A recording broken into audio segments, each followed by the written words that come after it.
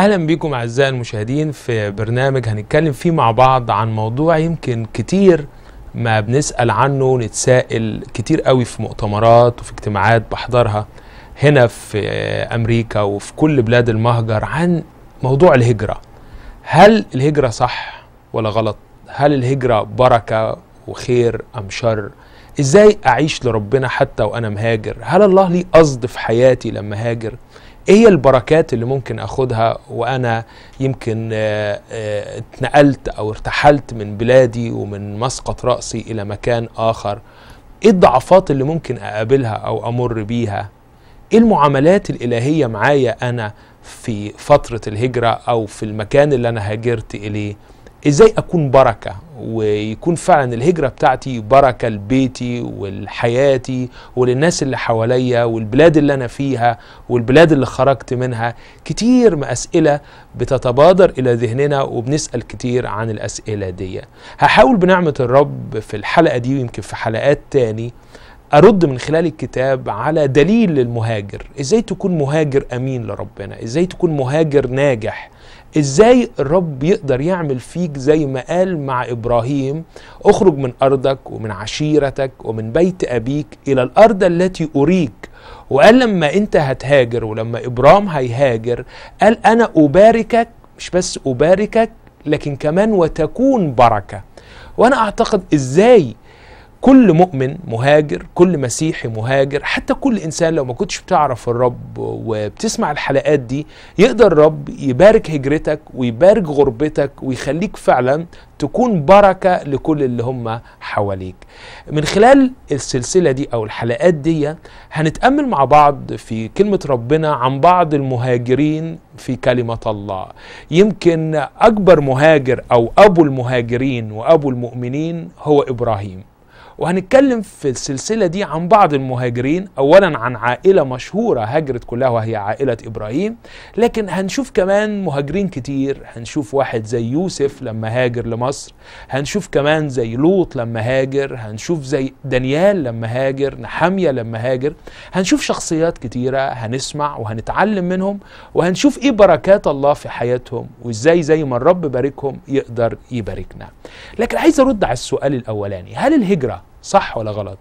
هل مفروض إن أنا أهاجر؟ هل دي مشيئة الله في حياتي؟ هل الله ممكن يباركني حتى وأنا بهاجر؟ ما نقدرش نصدر أحكام عامة ولا نقول الهجرة كلها صح ولا الهجرة كلها غلط. لأن كلمة الله بتورينا إن في ناس هجرت بحسب مشيئة ربنا وفي ناس هجرت مش بحسب مشيئة ربنا. يعني مثلا لما نشوف واحد زي إبراهيم ده هاجر بحسب مشيئة ربنا بحسب أمر ربنا ليه. الرب يقول ظهر إله المجد لأبينا إبراهيم وهو ما بين النهرين وقال له اخرج من أرضك ومن عشيرتك ومن بيت أبيك إلى الأرض التي أريك. يقول الكتاب فخرج وهو لا يعلم إلى أين يذهب. فإبراهيم هاجر بحسب مشيئة الله ده هاجر حسب أمر الرب. الرب اللي أمره يقول الكتاب إنه بالإيمان لما دعي أطاع. وده النوع الأول من الهجرة. هجرة بحسب مشيئة الله. هجرة بحسب فكر الله. هجرة بحسب أمر الرب. والنوع ده من الهجرة الرب يحط إيده بالبركة من أول خطوة لنهاية العمر كله. ويا بخت المؤمن اللي فعلا مش بيتحرك حركة في حياته إلا لما بيكون واخد ارتياح الروح القدس جواه إن هذه هي مشيئة الله. وده اللي حصل مع إبراهيم إنه هاجر بحسب فكر الرب وبحسب أمر الرب. لكن في نوع تاني من الهجرة بيكون مش بحسب فكر الرب لكن بحسب استحسان بشري. وده يمكن نشوفه زي في حياة لوط. لوط هاجر الجزء الأول وهو ماشي مع ابرام بحسب فكر الرب وبحسب مشيئة الرب. لكن جه في منعطف في حياته في مرحلة في حياته واختار لوط لنفسه يقول الكتاب. رأى سدوم وعمورة كجنة الرب كأرض مصر فعجبته. وقال أنا خلاص زهقت من العشرة مع عمي وزهقت من العشرة مع ربنا وأنا عايز أشوف سدوم وعمورة وإغراءات سدوم وعمورة وكل ما في سدوم وعمورة مع إنها كانت شريرة أمام الرب. فأخذ قرار واختار لنفسه ونقل خيامه وراح ناحية سدوم. وكانت الهجرة دي مش سبب بركة لحياته بل بالعكس كانت سبب تعب. ليه؟ كان بيعذب نفسه البارة وبسبب تعب كمان لأسرته والبناته والامرأته. وإحنا عارفين القصة كلها بتاعت لوط إن كانت الهجرة دي سبب انحدار متوالي في حياة لوط. ده نوع تاني من الهجرة. هل الله ممكن يتعامل معايا في النوع الأول اللي هو الهجرة بحسب فكره؟ نعم رب يباركني طب هل الرب ممكن يتعامل معايا في الهجرة حتى لو كانت زي هجرة لوط؟ ده اللي هنتعرض إليه في الحلقة دي ويمكن في الحلقات اللي جاية عن هذا الأمر الحيوي والمهم في حياتنا. حتى ولو أنا هاجرت بحسب استحسان بشري لكن لما بتواضع قدام الرب حتى لو أنا أخطأت حتى لو أنا استحسنت لكن إذا تواضع شعبي الذين دعي اسمي عليهم وصلوا وطلبوا وجهي فإني أسمع من السماء وأغفر خطياتهم وأبرئ أرضهم. في نوع ثالث بقى من الهجرة يمكن اللي برضو عايز أتكلم عنه وهو هجرة إبراهيم هاجر حسب أمر الرب ولوط هاجر حسب استحسانه البشري. لكن إيه رأيكم في واحد زي يوسف لما جه لمصر؟ إيه رأيكم في واحد زي دانيال؟ لما راح لبابل. إيه رأيكم واحد زي نحمية مثلا لما كان بيشتغل ساقي الملك؟ ده هاجر رغم عنه. ده راح مسبي راح مش بإرادة يوسف ده يوسف راح يعني باعوه إخواته إلى الإسماعيليين والإسماعيليين هم اللي باعوه إلى فوتيفار. أحيانا في ناس بتهاجر رغما عنها مثلا. أسرتي هاجرت وأنا ابنهم فاضطريت إن أنا أهاجر. ربما ضغوط شديدة كانت في بلادي أو كانت في الشرق الأوسط. ضغطت علي جدا. اضطررت أن أهاجر أو اضطررت أن أخرج. ربما لم أخذ أنا القرار لكن في حد غيري خد القرار وخلاني أهاجر. هل يستطيع الله أن يتعامل معي حتى ولو كانت هجرتي رغما عن إرادتي؟ حتى لو ما كنتش أنا اخترت المكان حتى لو أنا ما كنتش اخترت الزمان حتى اللي أنا جيت هنا مجبر ولس عن طريق الإجبار مش عن طريق الاختيار. حتى لو كان النوع ده من الهجرة الله يستطيع أن يتعامل معي.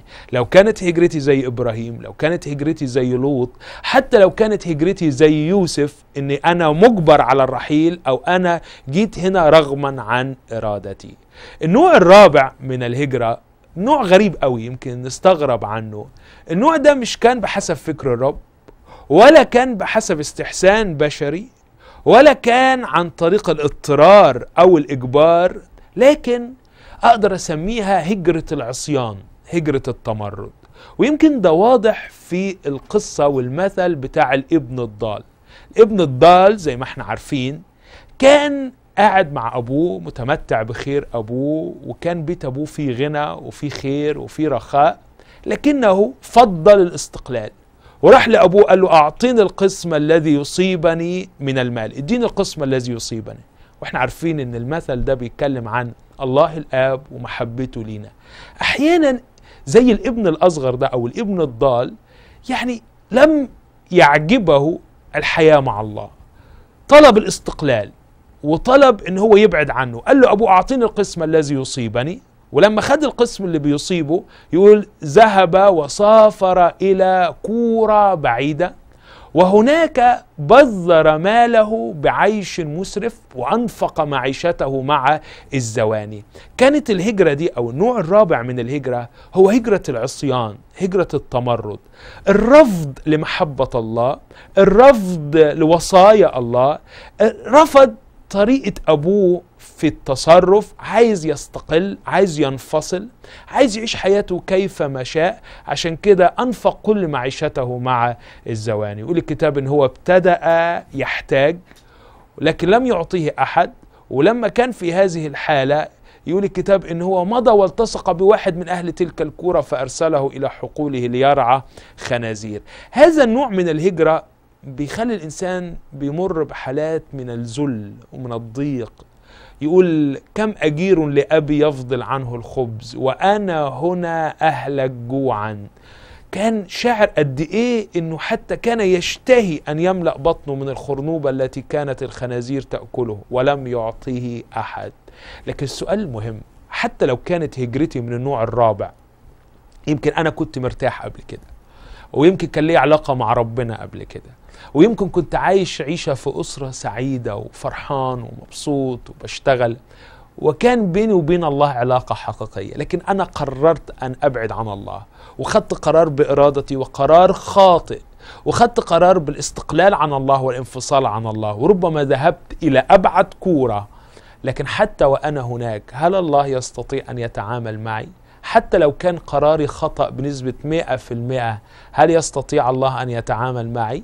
ده اللي هنشوفه في الحلقات اللي إحنا هنتأمل فيها مع بعض واللي فيها هنشوف أنواع مختلفة من الهجرة وهنشوف بركات عديدة في الهجرة وهنشوف أيضا ضعفات كتيرة في الهجرة أقدر أسميها أمراض الهجرة وهنعرف كمان إزاي نخلي بالنا منها وإزاي نتحذر منها لكن كمان هنشوف حاجة حلوة للغاية وهي إزاي الله يقدر يتعامل معانا ويتدخل معانا حتى لو كانت الهجرة بتاعتنا من أي نوع من الأنواع الأربعة. حتى لو كانت هجرة بحسب فكر الله زي إبراهيم الله سيضع يده بالبركة ويبارك حياتنا حتى لو كانت الهجرة بتاعتنا بسبب استحسان بشري ونوع من الرغبة البشرية والطمع البشري والإغراء البشري الله يستطيع أن يتعامل معنا ويبارك حياتنا عندما نأتي إليه متضعين.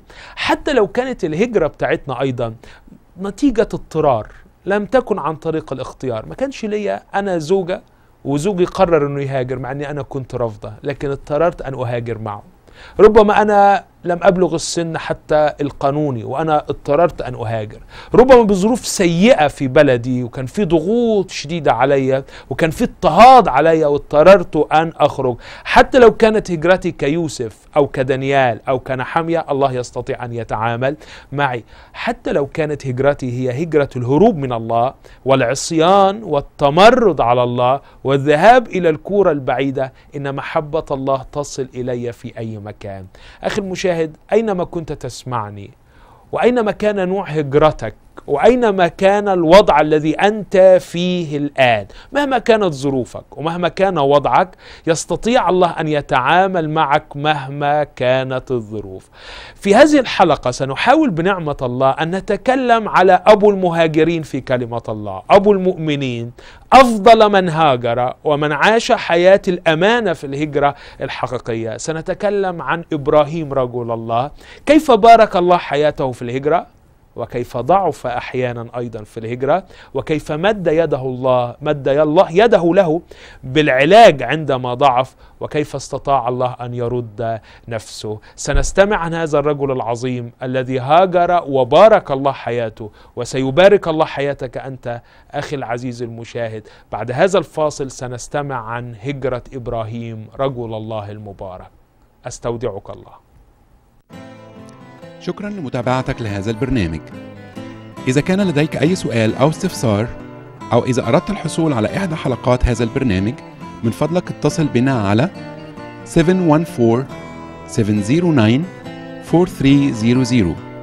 أو على 714-421-4109 أو ارسل لنا على البريد الإلكتروني info at alkarmatv.com أو يمكنك زيارة موقعنا الإلكتروني www.alkarmatv.com أو راسلنا على PO Box 3610 Seal Beach, كاليفورنيا 90740 أهلا بيكم احبائي المشاهدين مرة تاني بعد الفاصل ونكمل مع بعض الموضوع اللي اتكلمنا فيه وهو موضوع الهجرة من خلال الكتاب. ودليل المهاجر من خلال كلمة الله. وقلنا إن إحنا هنتكلم عن رجل الله إبراهيم أبو المؤمنين ونقدر نسميه أبو المهاجرين كمان. وأول مهاجر في كلمة الله يظهر بوضوح إن هو هاجر. السؤال اللي عايزين نسأله هل كان في حياة إبراهيم الهجرة ليها بركة في حياته؟ وهل كان في ضعفات في هجرة أبونا إبراهيم؟ وإزاي الرب تعامل معاه وإزاي الرب عمل تدخلات إلهية في حياة إبراهيم في حياة الهجرة؟ هل فعلا كان في بركات في حياة إبراهيم عندما هاجر؟ نعم أحبائي. أعتقد في عدة بركات. البركة الأولى ويمكن اللي بنلاحظها في حياة إبراهيم إنه تعرف بالرب معرفة حقيقية ومعرفة أعمق لما هاجر. ما بيقولناش الكتاب إنه قبل ما يهاجر كان ليه علاقة حية وعميقة مع الله. أنتوا عارفين إن إبراهيم سمي خليل الله أي صديق الله اللي هو ليه علاقة خاصة مع الله اللي كان الله بيزوره ويتكلم معه واللي قال هل أخفي عن إبراهيم ما أنا فاعله؟ اللي كان رب يتحدث معه عن كل الأسرار وعن كل الأمور. أحيانا وإحنا في بلادنا الأصلية وإحنا في أرضنا وإحنا مع عشيرتنا ومع أسرتنا بنبقى مشغولين جدا ومش بنفكر في ربنا أو ربما أحيانا مش شاعرين إن إحنا محتاجين لربنا. لكن لما بنهاجر أو لما بنيجي لبلاد غريبة ربما مش عارفين لغتها ومش عارفين عاداتها ومش عارفين تقاليدها وربما اتحرمنا من دعم الأسرة ومن وجود الأسرة حوالينا بنلاقي روحنا وحدينا. ولما بنلاقي روحنا وحدينا بنشعر وبنختبر إن ربنا معانا. يمكن ربنا جايبنا هنا في البلاد مش بس عشان بركة مادية ولا عشان آه، نجاح مادي. لكن يمكن ربنا كان قصده من هجرة وأكيد مش بس يمكن قصده من هجرة إبراهيم مش بس إنه يباركه ويديله مال وفضة وذهب وجمال وحمير وبقر وإماء وجواري رب عطاله كل هذا. لكن كان أول أمر الرب عايز يديهوله هو إنه يعرفه معرفة شخصية. ربما كنت معتمد على شغلك على نجاحك على أسرتك على عائلتك لكن هنا لما جيت شعرت إنك وحيد وربما شعرت إنك ضعيف وربما شعرت إنك غريب. الوقت ده وقد إيه في كل الجولات بتاعتي بشوف ناس كانوا ربما في مصر أو الأردن أو سوريا ما يعرفوش ربنا لكن عرفوا ربنا هنا. بل أعز واحد على قلبي كنا بنصلي لأجله كتير قوي وهو في مصر. ما عرفش ربنا في مصر لكن عرف ربنا في الغربة ولما هاجر لما شعر إنه وحيد ومفيش حد حواليه. ربنا قرب منه هو قرب من ربنا. أعتقد إن أول بركة للهجرة إنك بتشعر بضعفك تشعر إنك غريب تشعر إنك وحيد تشعر إنك محتاج لواحد يقف جنبك. وأنا بشجعك النهارده لو أنت بتسمعني وشعر إن حواليك ناس كتير بس محدش فاهمك هو بيفهمك. محدش قريب منك هو قريب منك. محدش بيساعدك هو هيساعدك. محدش وافي معاك مخلص ليك. هو هيكون مخلص ليك. قد إيه قال داود الكلمة الحلوة دي؟ أبي وأمي قد تركاني لكن الرب يضمني. وإبراهيم اختبر هذا الأمر. أحيانا يمكن في بلادنا الأصلية بنكون تعودنا على حاجات معينة وبنفكر بطريقة معينة لكن لما بنيجي ربما لبلاد زي هنا ممكن ربنا يستخدم الحرية. يمكن في بلادنا ما كناش بنقدر نفكر غير اللي اتربينا عليه والدين اللي طلعنا فيه والكلام اللي اتقال لنا.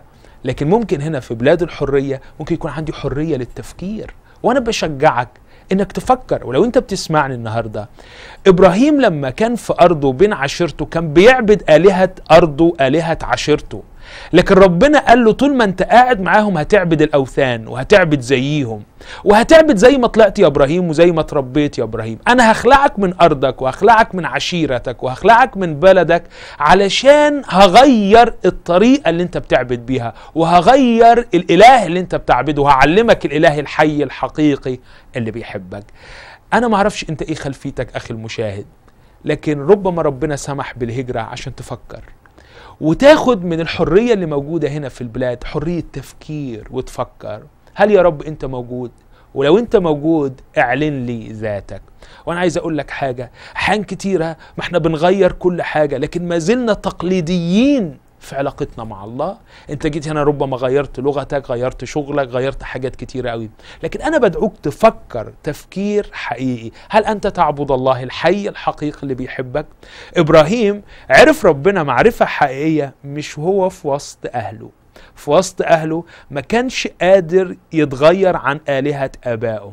لكن لما ربنا نقله نقلة جديدة عرفوا بيه معرفة جديدة. صلاتي ليك إنك تكون عرفت الله الحي الحقيقي اللي أرسل ابنه الوحيد ليموت نيابة عنك. وهذه هي البركة الحقيقية للهجرة.